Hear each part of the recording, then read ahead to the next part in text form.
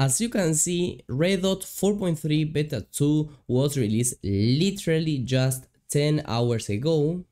And today we are going to be checking it out because as you can see we do have some interesting enhance enhancements and uh, features as well as uh, bug fixes and something that uh, has to do with the templates okay that we will also check out. More specifically the export templates so first of all if you want to download this version you will go uh, to github okay and then you will uh, look for redot engine basically over here you will just type in redot and well you will find the corresponding repository of redot engine and over here you will go to the releases page okay? If not you can also uh, go literally to the to the to the official website redotengine.org and here uh, download okay? Um so i'm going to press there on the releases and here we have it okay? You can actually uh, pause the video right now and uh, actually read all the new stuff and book fixes etc but in my case i will just go ahead and um, download uh, the version okay? So we'll open up the assets. And in this case i will look for windows 64 um here it is. I want the standard version. I do not want the the mono version um, okay here I have it.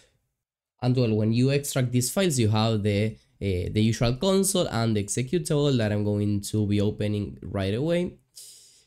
And well here we see this. Uh, we have here a fail uh, of checking for updates. I don't really know why that appeared. Uh, let me go online again. Okay there it seems that everything is working as expected. Um, and I will basically go ahead and here for example on my downloads I will create here a new project and this is a 4.3 beta uh, 2 okay exactly like that. And I will create and uh, edit the project. So here we are in the usual 3D environment. Uh, we are receiving no warnings over here which is quite good because sometimes in I think in previous versions we used to receive here like a warning or something like that uh, that of course it wasn't supposed to be happening but well here we are and well everything uh, seems to be working completely fine. Remember that until now the biggest difference is basically the uh, rebranding basically the changes um, in the logo okay for example over here also over here in the application itself that says Redot engine okay? Um, and they also say here that they have updated some stuff to uh, basically say Redot instead of go Godot. I don't really know if for example it has to do, for example, here the window that now says Redot engine. Um, but well, yes, now everything it seems uh, it seems that everything has been rebranded correctly. And before moving on uh, the export templates, I will super quickly just create a brand new to the scene. I will call it main and I will save it okay, so that just we have a quick test of, of how Redot works. Um, I'm going to create yes an empty script over there. I will zoom in a little bit and I will for example just call here the uh, ready function and I will print out hello redot for example. Then when I run this in and uh, we will have to give it just a couple of seconds until everything loads in for the first time. There we see the message. Then the second time it should actually be played much faster. Yeah, there we go. So yes, indeed everything is working fine. Uh, so now when the export templates, as I explained, well, they provide here the explanations how to do this, but well, um, I thought that it was also worth creating a specific video for this because it is quite important. Because of course if you can't export your game well maybe it is something that a reason why you may not use an engine if you can't actually build your game or export your games. Um, because for example if we go to project export and for example, let's add uh, a Windows preset, um, we see that no export template uh, found at the expected path. So for example, we can click here, manage export templates, and um, we have to install them from a file. Uh, so here is asking for a Redot export template file specifically. So let's see how uh, we, we could do this according to how Redot is explaining this. So, um, of course, besides having like the source code and the different versions for the different operating systems, at the top we have the templates for uh, the mono version and the standard version. So in my case, I will download the the zip for the uh, standard version. It is a little bit heavy, uh, close to one gigabyte, but well, let's just give it some time. And um, while this is being downloaded, let's also just uh, close this project, okay, uh, to avoid any problem. Because well, we're, we're going to actually loading some stuff inside of the of the application data of Redot, so to avoid any kinds of crash or anything like that, it is better to have everything closed. So now this is the zip the, that I've got.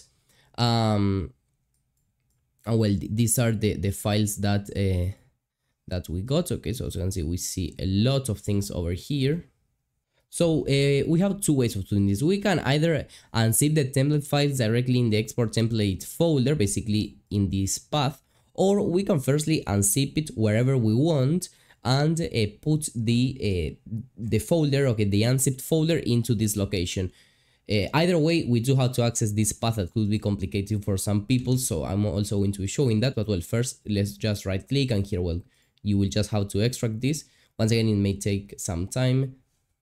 And also, uh, just in case, uh, I will also copy and paste the, the, these, these things from macOS, okay, just to make sure that everything is working correctly. Um, I will here here this was actually the project that that uh, I created a second ago so I have to make sure that I don't confuse the folders as well uh, these two are the ones that I care about uh, the easiest way to go to this path would be to firstly copy it. So let's select it and press Ctrl C or uh, right click copy. And then you can press Windows R or if you do not see this, uh, you can uh, right click here on the taskbar. No, here you can, let me check where it was. Over here on the Windows icon and here press run. Okay, it's, it's the exact same window. Let's paste there uh, this exact same path. As you can see, it's the exact same one. And uh, here we are. Um, now, what I, what I really recommend you do is that you open a brand new file explorer. Um, so you can right click on your file explorer, click on file explorer.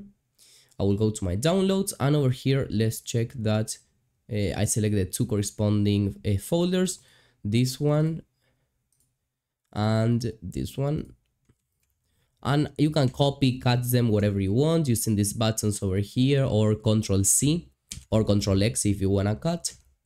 And I will go to the export templates and paste them over there with control V or also using here the paste icon. So let's give it once again a second. And well Redot should now see all the release templates when you try to add one so here I am actually got here the export preset, but I think that it was uh, because I wanted to add here a Windows desktop. And as you can see, I am literally receiving no error. So I will just in case uh, delete this template over here, this preset actually, and I will add uh, one for Windows. Ah, well, um, I haven't configured rcedit uh, to, to change the icon of the of the builds, but well, I don't really care about that. That's something super easy to do, and it's the exact same process as you would do it in Godot. Um, so it's I believe that with, with the default options, we are good to just export the project. Uh, I will put it, yes, inside here of the of the downloads. Uh, I will create a brand new folder, build, okay, and I will just save it over there. We received this warning um, to because rcedit wasn't found on the icon application uh, can't be modified unless we um, we implement rcedit. So well, that's not something key and here we have the build and we, we even have it with the new with the Redot icon company name Redot engine so everything is updated correctly. And when we double click well in this case this has to do because uh, our project doesn't have any kind of main scene so I will first play it over here select current and just to make sure that we can actually see something uh, let me add a, a label Redot for example uh, let me make this uh, much bigger something like 100 and I will put it in the in the middle of the screen. Maybe something like that and then I will just move this node maybe right here. Okay. Uh, so now if I play over here yes I see that. And let's also make sure that our window uh, is set to canvas items and keep just make sure that everything uh, keeps the aspect so once again, I will just go to export, Windows Desktop, export project, and I will overwrite this. Okay, so let's give it a second. We receive the same warnings, there is no problem. Let's go to build. and I've got here the executor and now it is being played and now we do see uh, the final game let's say that we have created. As I showed you here, this version was released literally just 10 hours ago, so I am always uploading the latest news uh, about Redot and I am also posting uh, Godot tutorials, so make sure that you are subscribed to the channel. See you in the next one and bye bye.